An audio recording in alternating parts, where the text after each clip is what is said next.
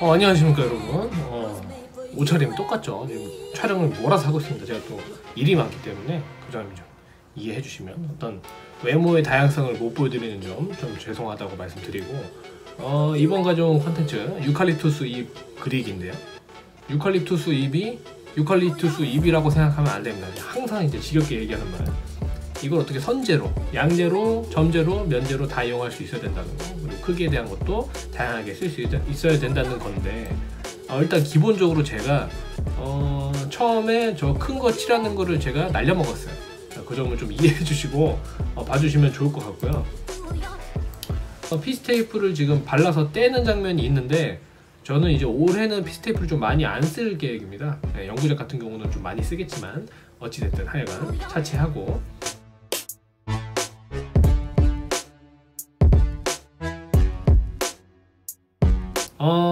여기에 들어간 컬러 같은 경우는 어, 이제 거의 이제 그린 쪽은 이제 특히 이런 이파리 쪽 이제 칠해줄 때 거의 이제 린덴 그린이나 호커스 그린 좀 많이 애용하고 있습니다. 예, 뭐 실제 이제 사물에 따라서 또 뭐 올리브를 쓸 수도 있고 하겠지만 저 같은 경우는 요번 그림에서 린덴 그린이나 호커스를 좀 위주로 사용했다는 점이고요.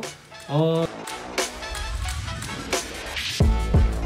어, 쭉 이어서 보시면 저렇게 일단은 기본적으로 린덴 그린을 시원하게 깔아 주시고 어, 그 다음에 저렇게 후커스로 혼색을 해서 양감을 잡아주는데 저게 보시면은 이파리가 이렇게 있는 게 있고 이렇게 있는 게 있고 이렇게 있는 게 있고 다 이제 바라보는 제 손만 보더라도 여기 면이랑 여기 면이랑 톤이 다르지 않습니까? 다르고 다르죠? 점점 달라져요 어찌됐든 이 파리들도 보면은 각이 다 계속 변한단 말이에요 그러면은 저거를 내가 바라보고서 관찰해야죠. 어딜 바라보냐. 그러면 위를 바라본다. 밝게 해주고 밑을 바라본다. 어둡게 해주고 빛에 대해서 어느 정도 등지냐에 대한 어떤 계산을 할 줄 알아야 돼요. 근데 그거는 뭐 물론, 물론 이제 수적으로 이제 수리적으로 할 수도 있겠지만 관찰을 많이 해야 돼요 평소에 좀 생각을 많이 해야 되고 단순하게 제가 방금 손으로 예시 들어, 들어, 들어 드렸지만 이런 거를 이제 보면서 톤이 과연 빛에 의해서 어떻게 변하는지 이런 것들을 계속 이제 관찰을 하는 거죠. 아니면은 이파리 같은 거 뜯어오면 안 되고 뭐 뜯겨져 있는 거 하나 들고 와서 한번 보십시오 이런 게. 어떻게 되는지.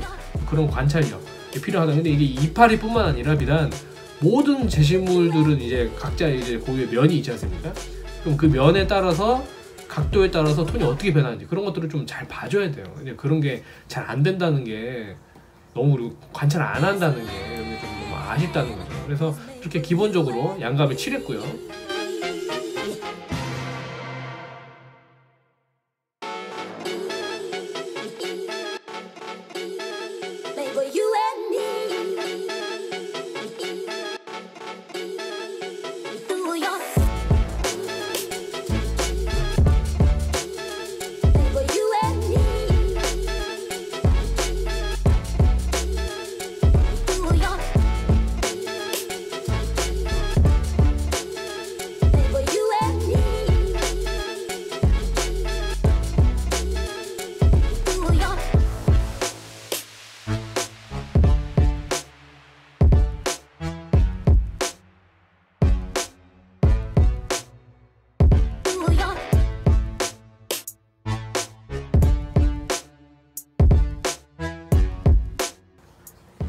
묘사를 하는데 어 그냥 인맥 묘사. 유칼립투스 잎 같은 경우는 인맥이 또 많이 없더라고요. 근데 우리 또 입시 축 아니겠습니까? 이 정도 이렇게 최소한의 이제 묘사는 또 있어야 보는 사람들이 밀도감을 느끼기 때문에 어떤 저런 어떤 어, 묘사 어, 저것도 이제 어떤 점이 막 충돌하는 느낌이 드는 거죠 멀리서 봤을 때. 그래서 해상도가 높아 보이는 역할을 하는 거기 때문에 어쩔 수 없이 어, 의도적으로 묘사를 해야 되고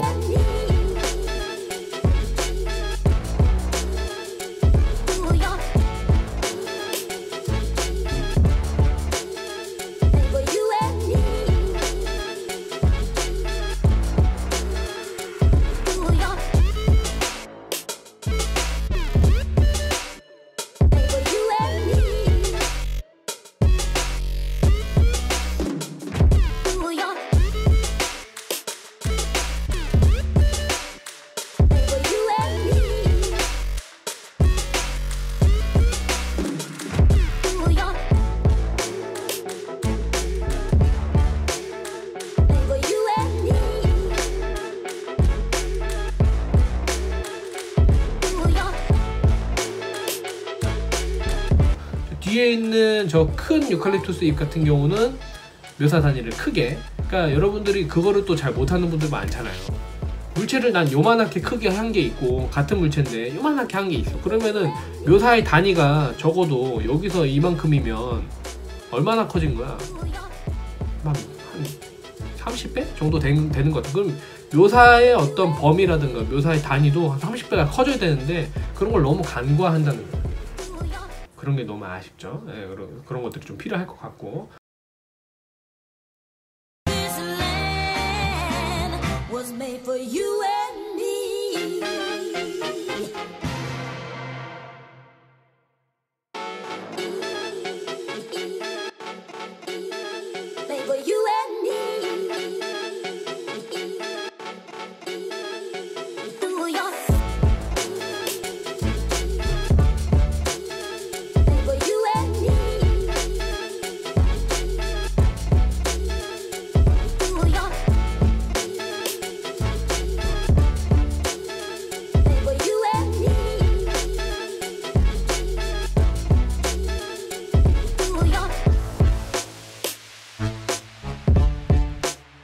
자 그 다음에 지금 이제 찍은 것 같은 경우는 화이트에다가 이제 옐로 계열을 진하게 섞어서 이제 인맥이랑 저 줄기 부분에 이제 칠해준 건데 어 저 앞에 부분 같은 경우는 양감을 좀 치지만 왜냐면 흰색이랑 부딪히지 않습니까? 근데 뒤에 저 유칼립투스 잎 큰 게 어두운 거랑 부딪히는 줄기 같은 경우는 노랗게 냅두죠. 왜 저게 잘 보이니까 그리고 아주 약간 그러니까 엉키지 않을 정도로만 양감을 좀 해석해주는 정도가 들어가 주는 거죠. 이런 것도 어떤 조형의 원리다.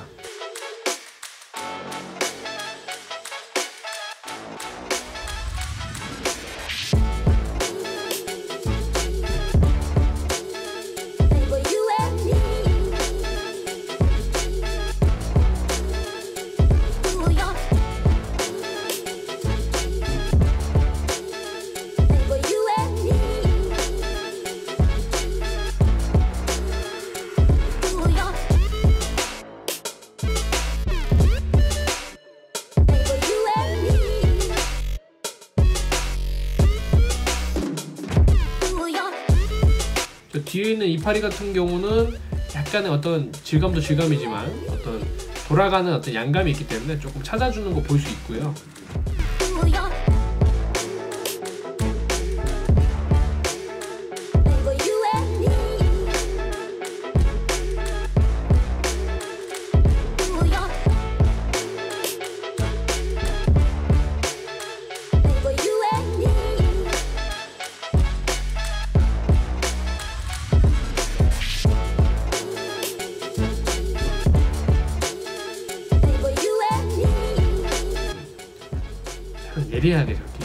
어떤 각을 더 찾아주는 것도 또 센스가 또 필요하겠죠. 점점 점점 어떤 어, 입체화 돼가는 과정이 보여지고요.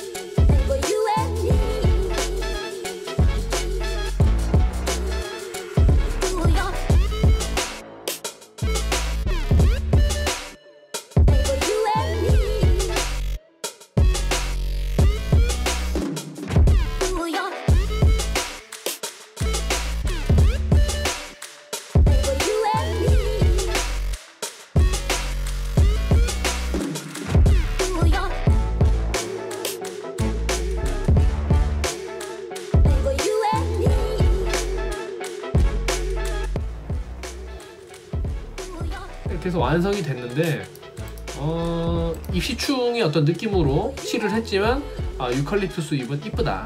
음, 인테리어로 굉장히 좋은 것 같습니다.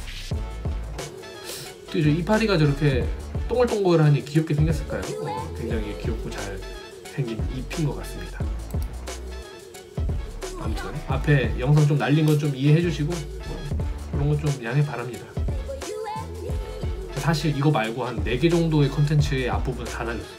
왜 그런지는 잘 모르겠는데 어제 그래서 카페에서 너무 열받아서 아무것도 못하다 나왔어요.